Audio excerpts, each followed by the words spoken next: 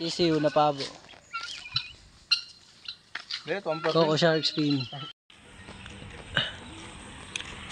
So guys, nandito tayo ngayon sa dapat. Sinamahan natin ang ating mga...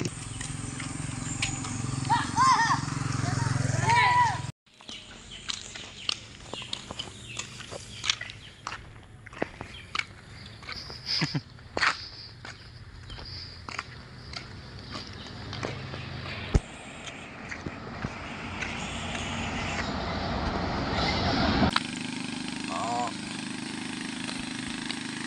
Oh.